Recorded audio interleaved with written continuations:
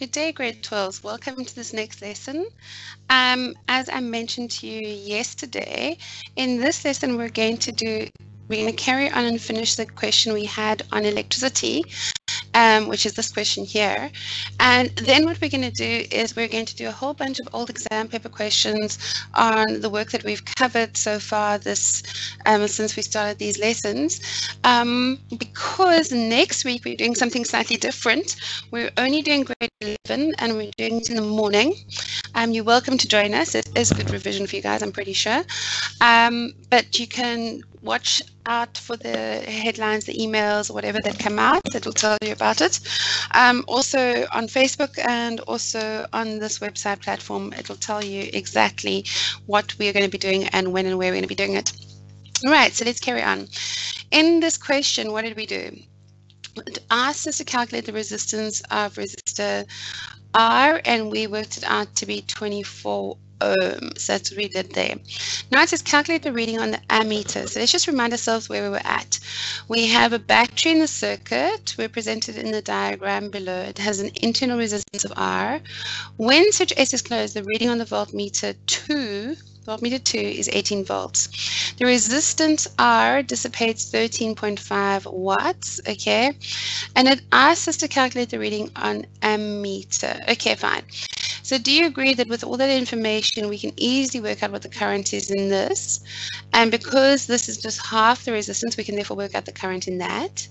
And then we can add the two and we'll get this current over here. Okay, so remember because why? Because the current splits. Okay, the current's going to come through, yeah, la, la, la, and then split and then it joins back together and goes through. So if we work out what this current is and that current is, we can add them up and we can find what is going, the current is that's going through the ammeter. So we can either use V equals IR, which is probably easier. So what V is equal to IR, the volts that we worked out will give 18 volts. The resistance that we worked out was 24 ohms. So it's 24 multiplied by the current. I mean, yeah. So therefore, I is going to be 18 divided by 24. And do you agree that 6 goes back into both of them? So it's 3 quarters is I. So I is going to be 0.75 ohms. So therefore, we've got 0.75 ohms coming through this resistor here. But this resistor is half the size. 12 ohms is half the size of 24 ohms. And therefore we can say, well, then it's pretty obvious that the resistance, the current going through the 12 ohm resistor has to be what? Well, if the resistance is, is half, then the current is going to be double. Am I right? So therefore we can just go, well, what is 0.75 doubled? And I'm really hoping you guys are not going to need your calculators to work that out. And you're going to realize that that is 1.5 ohms. Doesn't matter if you didn't need your calculator, I'll accept it, but it'd be better if you didn't need your calculator. So this is 1,5 ohms. Okay, so then we haven't finished because they want the reading on the ammeter. And the reading on the ammeter is going to be 1.5 plus the 0.75, which is going to be 5. 7 and 5 is 12, carry 1. And yes, that's right. And then for 2.25, sorry, I had a little bit of a mental breakdown there. So therefore, the reading on the ammeter is 2.25 amps. Okay, explain in words what is meant by the term internal resistance. Okay, great. 12, the one thing I do want to mention to you here is that they've said explain in words what is meant by term internal resistance. They're not expecting you to give the formal definition. It's only for two marks. They said explain in words that don't mean that you have to give the formal definition. If you give the formal definition, it's cool, not a big deal, but don't panic if you can't remember it. So basically, internal resistance is the resistance that the battery has, okay? That's all it is. Internal resistance is the resistance on the inside of the battery.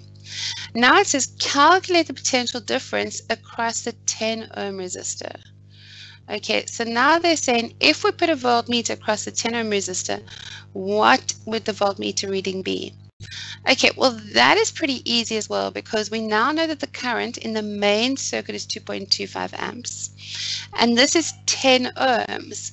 So I'm just going to change color so it's a new question.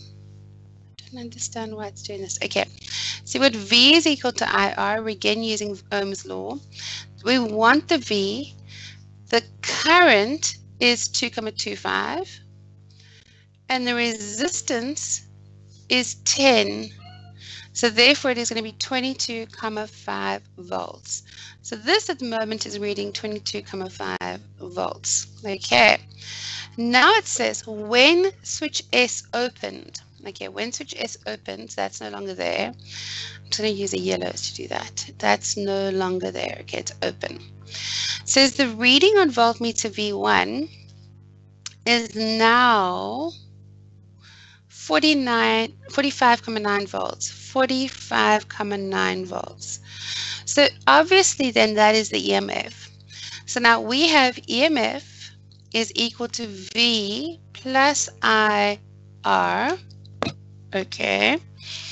Do you agree that we've got the EMF? We've got the total volts the circuit is a 22.5 plus the 18 volts because remember that they're in parallel.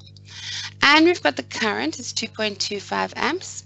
So therefore we can find the internal resistance. So we can say EMF is 45,9 is equal to this 22.5 plus the 18 plus the current of 2,25 R. Okay, now, okay, that's fine. So therefore it becomes 45,9 is equal to 5. 8 and 2 is 10, carry 1. 2 and 1 is 3, plus 1 is 40 plus 2 comma 25r. So what are we left with? We're left with a 4 and it's 5 comma 4 is equal to 2 comma 25r. So we divide both of these by 2 comma 25. And what are we left with? Therefore, r is equal to what? So we're going to get out our calculators and we're going to go 5.4 divided by 2.25 and we're left with 2,4 ohms 2, 4 ohms okay so whenever you see something like this where they say the switch is opened um, and then you have a reading then obviously you're getting the EMF okay this is obviously then the EMF and then you need to use your EMF equation to work out your total internal resistance. Now it says does the external resistance of the circuit increase, decrease, or remain the same when resistor R is removed? Okay, they're asking what happens to the external resistance, okay? When R is removed, what happens to the resistance? Does the resistance increase, decrease, or remain the same? And again, I'd like to remind you that the more resistors we have in parallel, the smaller resistance. Okay, so what we've effectively done is we've removed a resistor in parallel. So if you look at it, it's actually very easy. The total resistance now is going to be 10 plus 12, which is 22 ohms. Okay, which is bigger than if we had this resistor in parallel with the 12 ohm resistor. So the definite answer is increase. The minute you remove any resistor that wasn't in parallel, you increase the resistance of the circuit. It's very important that you remember that. Okay, right. So now I've started off by looking at just looking at basic exam paper questions, starting from the beginning. Um, and this is obviously to do with Newton's laws. And in fact, it's Newton's second law because they've asked us about Newton's second law. But let's just read this. It says a four kilogram block B resting on a flat, rough horizontal surface. So if you see the words rough horizontal, what are you thinking? I'm thinking friction. I'm thinking friction. There's going to be friction. Is connected by a light, inextensible string to 6 kilogram block A. The string is passed over a light friction is put in such a way that block A hangs down perfectly. Now it says write down Newton's second law of motion in words. Okay, guys, you're welcome to learn it. It's F net, in fact, you should, is equal to mass times acceleration.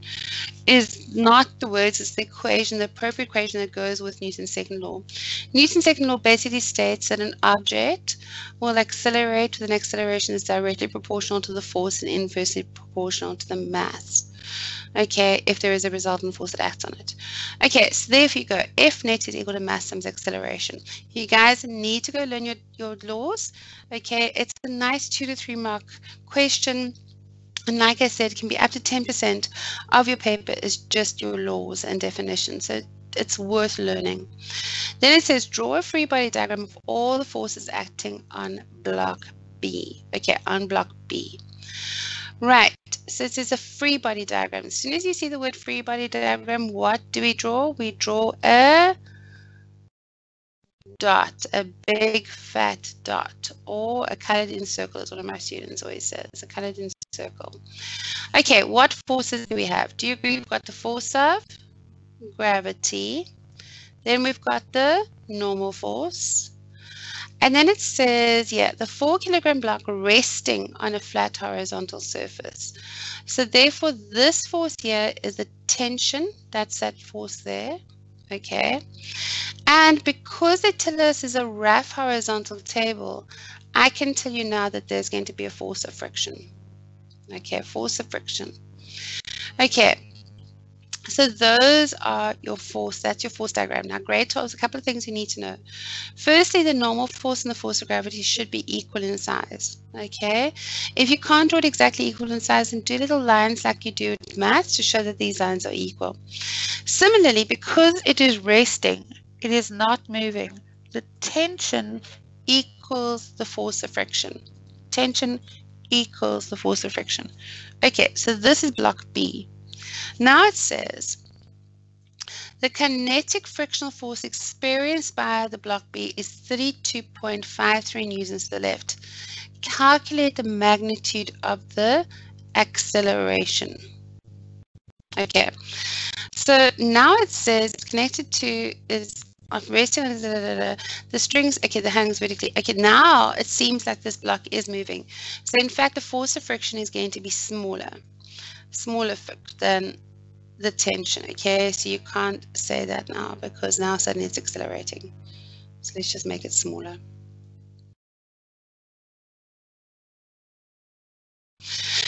Okay, now it says the kinetic frictional force experienced by block B is 32.53, 32,53 newtons. Okay, it says to the left, calculate the magnitude of the acceleration. So do you agree that the normal force and the force of gravity cancel out? Okay, so that's not causing it to accelerate. The force of friction is being counteracted by the tension, but the tension is to do with this block.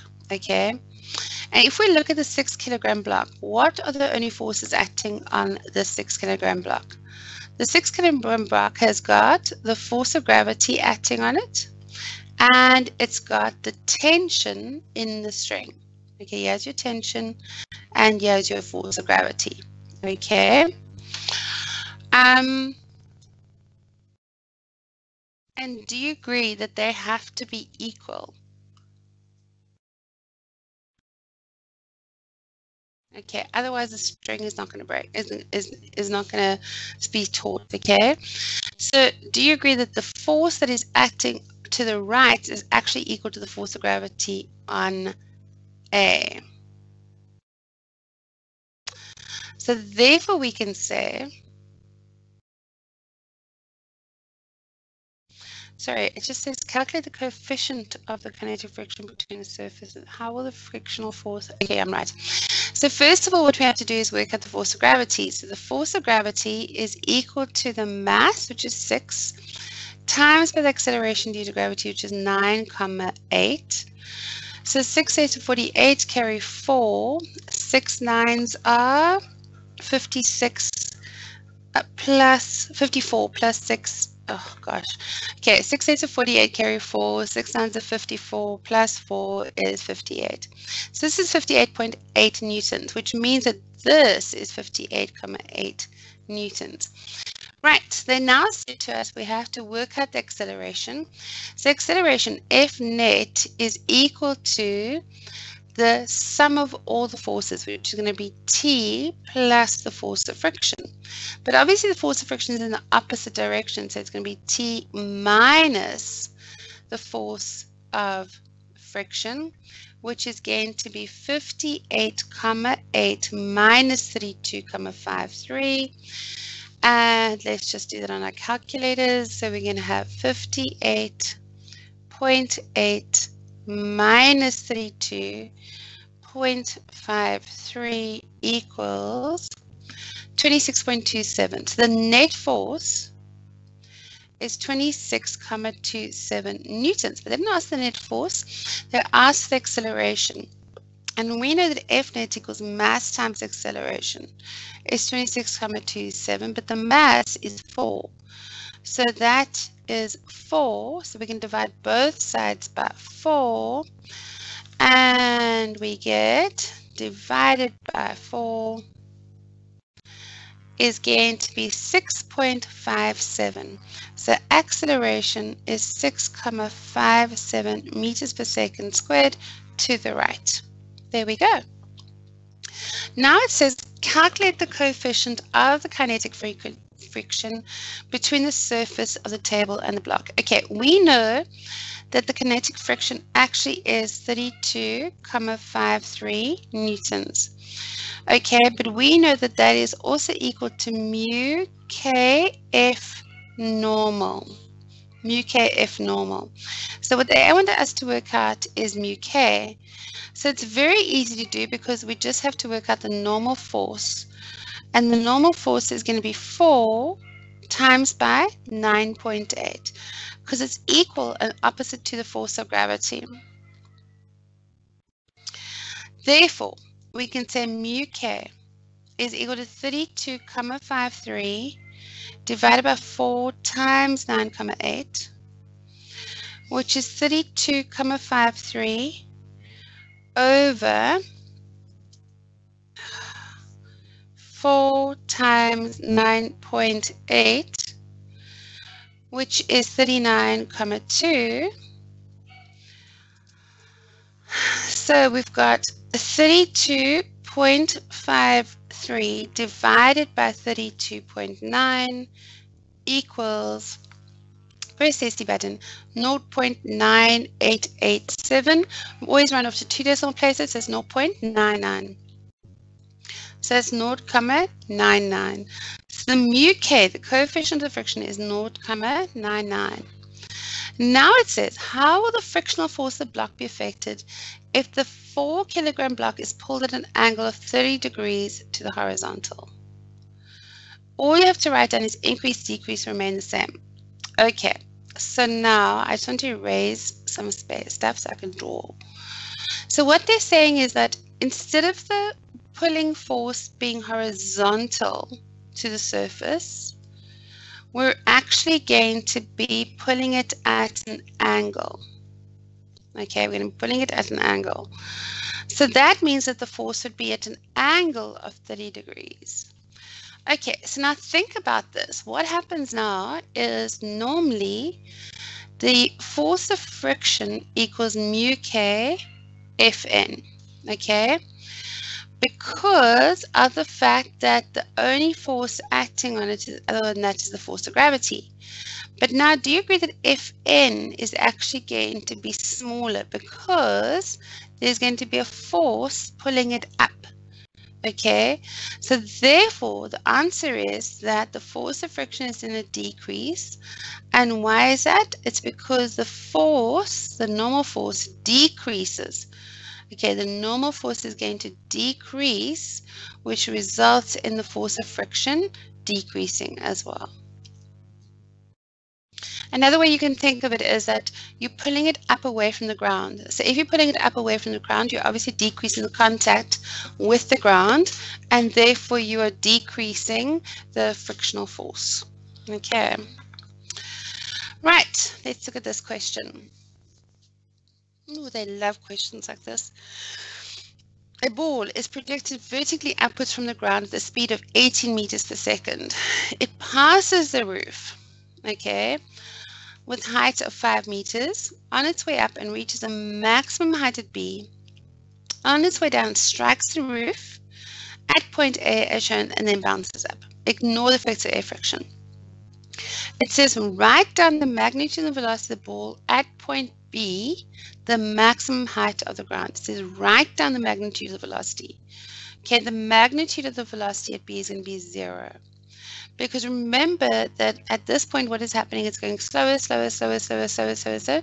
Final velocity at this point is zero. And then from zero, it goes speeds up, up, up, up, up again. Okay, so the magnitude of velocity is zero meters per second. Okay. Now it says write down the magnitude and direction of the acceleration of the ball at point B. Well, what is the only force acting on this ball during this whole thing, assuming there's no air friction? Okay, the magnitude is the only force acting on it is the force of gravity. So therefore, the magnitude and direction of the acceleration is going to be 9,8 meters per second squared downwards. Okay. Now it says calculate the following regarding the ball. The time it will take to reach point B above the ground. Okay, so let's write down the information we have. We've got an initial velocity is 18. We're going to choose up as positive, okay? So initial velocity is 18. Our final velocity, we've just said is 0. Acceleration is minus 9,8 because that's always towards the ground and we want the time.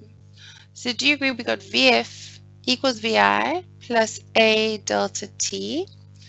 So initial velocity is 18, the final velocity is 0, plus the acceleration of minus 9,8 delta T. Therefore, delta T is equal to basically 18 divided by 9,8. And we pop out our calculator and go 18 divided by 9.8 equals, and it's 1.84 seconds. Remember, you always run up to two decimal places.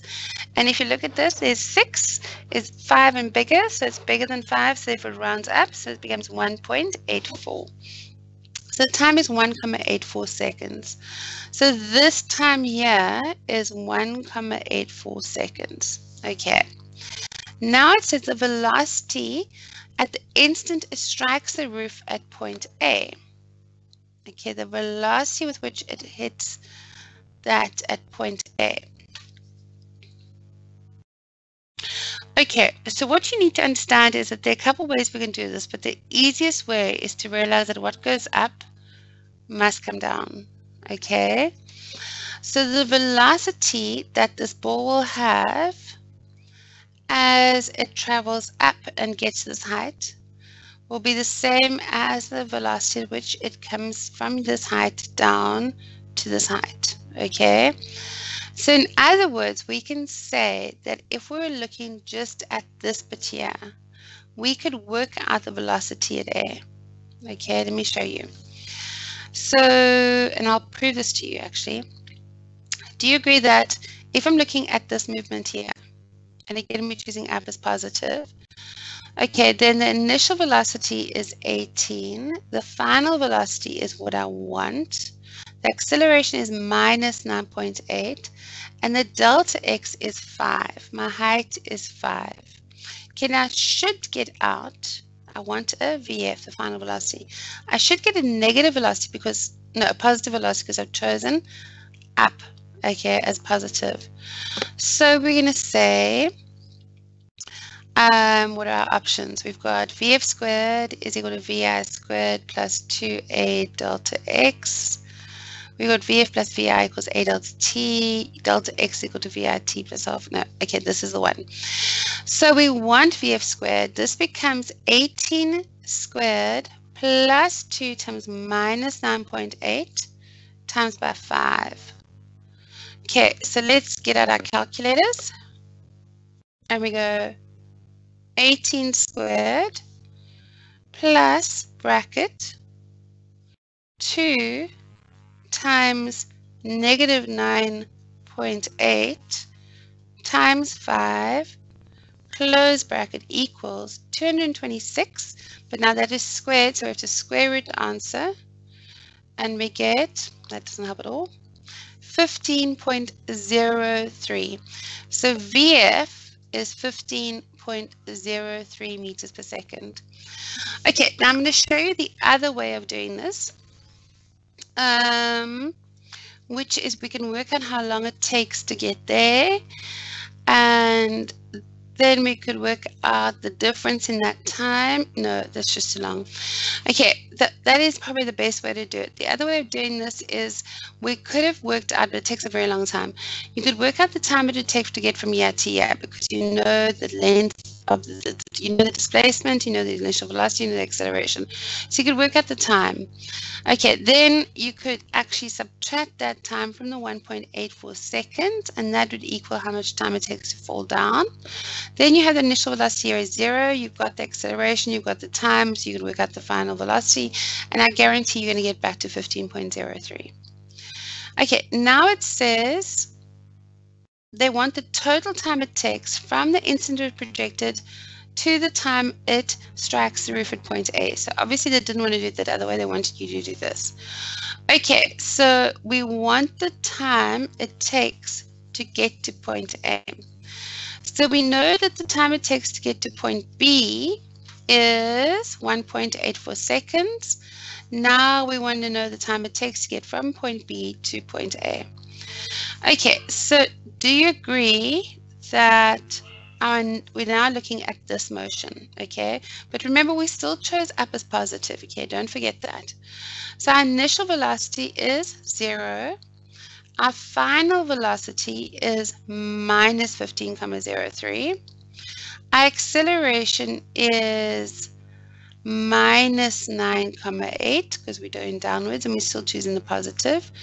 And we want the time. We want the time it takes to get there because then we're going to add it to the 1.84. So we're going to go VF is equal to VI plus A delta T.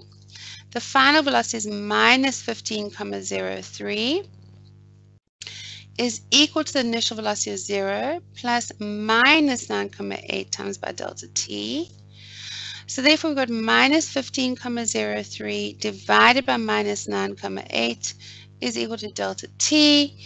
So then if we get out our calculators, we're going to have 15.03 divided by 9.8 equals SC button 1.53 1.53 so total that time is equal to 1.53 seconds. But that's not what they asked. They asked what was the total time gets from the ground till it hits the ground? So therefore we're going to go 1.84 plus 1.53 4 and 3 7 8 plus 5 is going to be 13 carry 1.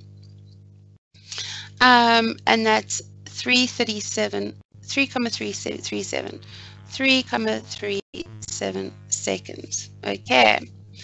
Now it says sketch a graph of the velocity, velocity time graph of the motion of the ball from the ground up until it hits the roof of the building. Okay. Right.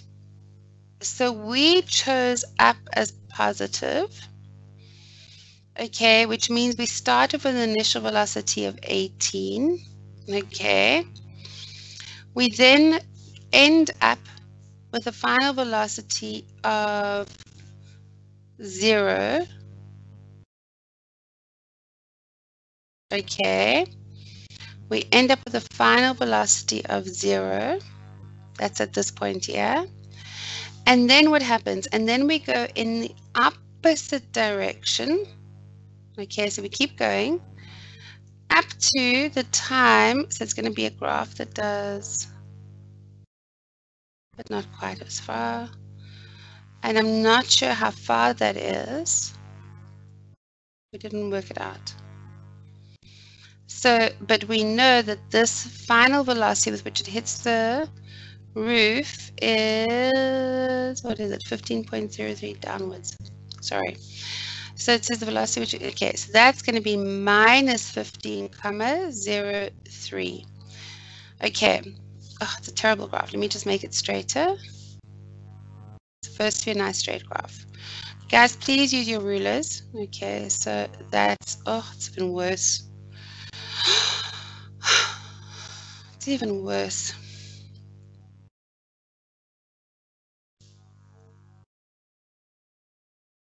Okay, and that time there, we've worked out already is 1.53, 1 comma 53, and that time over there we've already worked out is, no, no. Um, this time here is 1.84.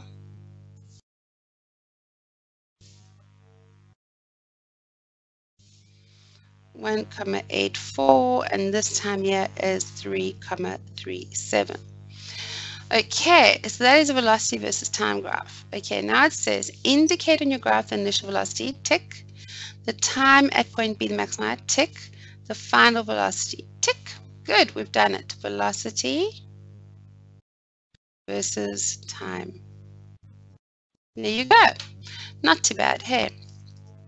Right, let's look at this question. This question is a very popular question, Great Tools. It comes up quite often.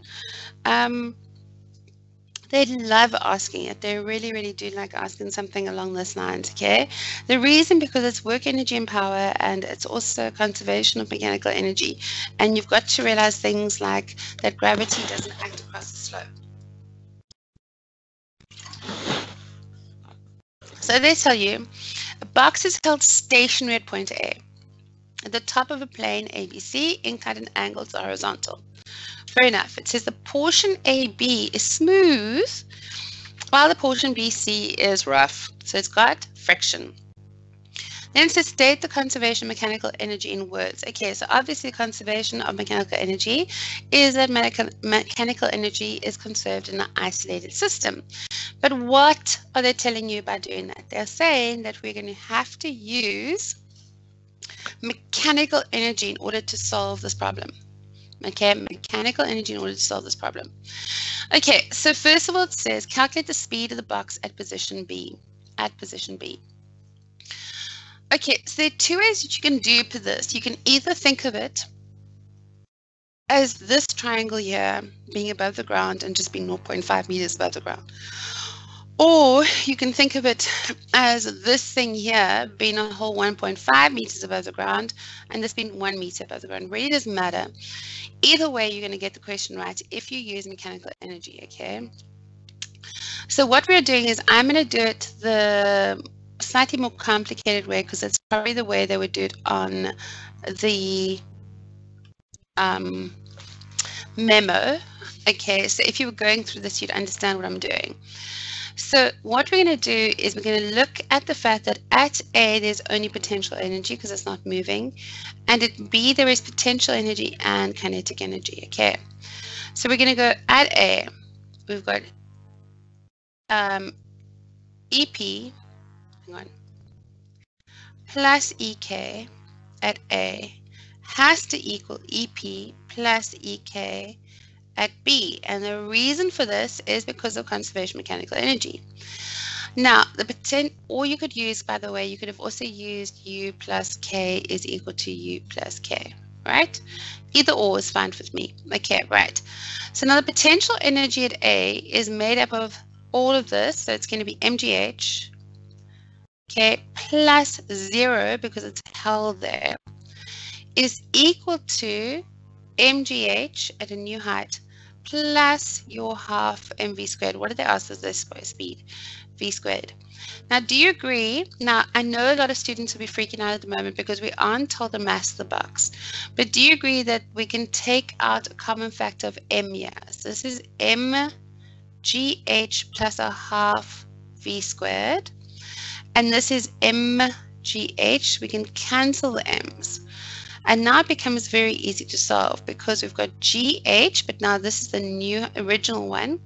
So this is going to be 9 comma 8 multiplied by all the height there. So that's going to be 1 comma 5 is equal to the G over here, which is 9 comma 8 multiplied by this height here, which is only 1, plus a half v squared. Okay. So therefore we can say we've got 9 comma 8 multiplied with 1.5 minus 9 comma 8 multiplied by 1, which equals a half v squared. So let's pop this in the calculator. So you got 9.8 multiplied by 1.5 equals minus 9.8 equals 4.9. That's 4.9 is equal to a half of v squared. So therefore we've got 9 comma 8 is equal to v squared. And all we want to do is find the square root of 9.8. And that is going to be 3.13. So V is equal to 3.13 meters per second down the slope. But they've just asked the speed, so you don't have to give direction. Okay, great. Now it says the box experiences kinetic frictional force of 14.7 newtons as it moves at constant velocity. So there's a frictional force backwards of 14,7 newtons. Okay. Then it says state the work energy theorem. So again, they're trying to give you a hint. They're going, look, look, look, you're going to be using the work energy theorem. And great tools, I just want to point something out to you. This, these two questions actually came from the same um, these three questions, one, two, three, came from the same exam paper. Notice the number of laws. 2.1 says write down Newton's second law of motion in words. Okay, this one admittedly didn't have any theory, but then this one has got two lots. State the principle of conservation of mechanical energy, and three, state the work energy theorem in words. So you can see that there's quite a lot of marks available for pure study work. So please be aware of that and be careful about it. Okay, so it says state the work energy theory in words, which is just that work done is equal to the change in kinetic energy. Okay, so net work done is equal to the change in kinetic energy. Right, now, so what are they hinting? They're hinting that you're going to have to use the work energy theorem. They, you're going to have to use it. Um, Okay, so let's get going with the next bit, which says draw a free body diagram showing all the forces acting on the box at B. Okay, assuming that we now have friction. So remember it's a free body diagram, but it's on a slope. So I tend to draw the slope in the dotted line to help me find my angles. So do you agree there's a force of gravity down? Fg. End of story. There is definitely a normal force, F normal. There is the force of friction, force of friction. And what else could there be? Okay, it doesn't say anything else about any other forces. There's nothing pulling it down. That's it. So those are your three forces that are acting on it. Now it says use the work energy principle to calculate the distance d between B and C if the box has a mass of 3 kgs.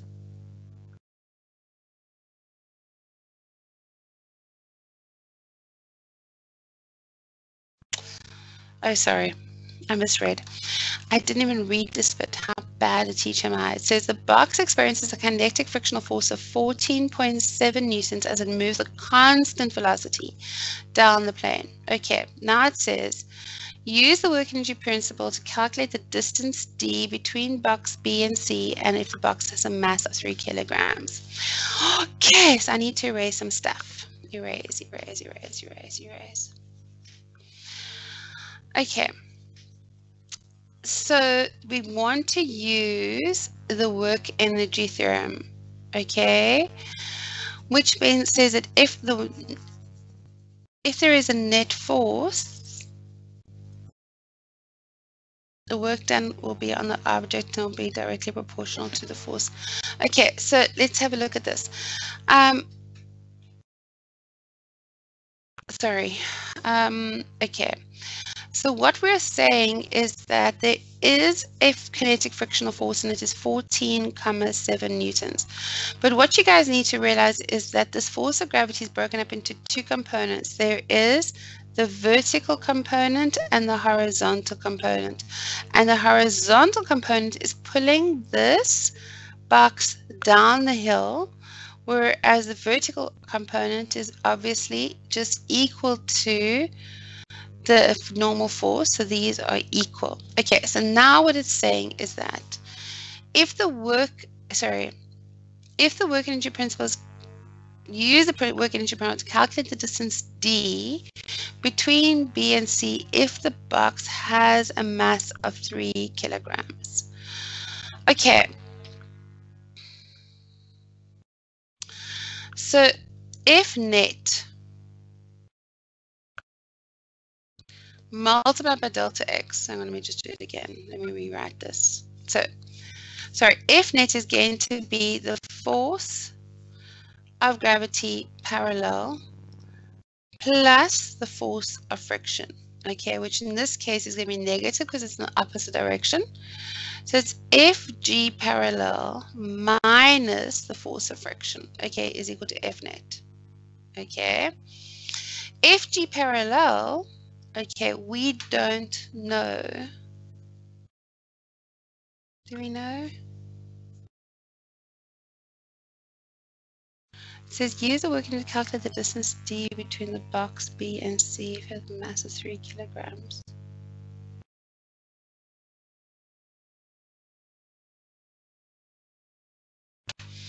We also know that the force of friction is equal to mu kfn and we know the force of friction is okay. Right grade 12 so we're going to carry on with this question. In the next lesson which is on not monday it's monday week okay. Please remember grade 12s that unfortunately i'm sorry i would like to carry on with this question but it is a nice question. We need to think about it and do it properly for you. Um, what we need to do is next week like i told you next week there's going to be lessons but they're going to be um, in the morning and it's for grade 11. So please watch your space and we'll let you know what's happening. Cheers.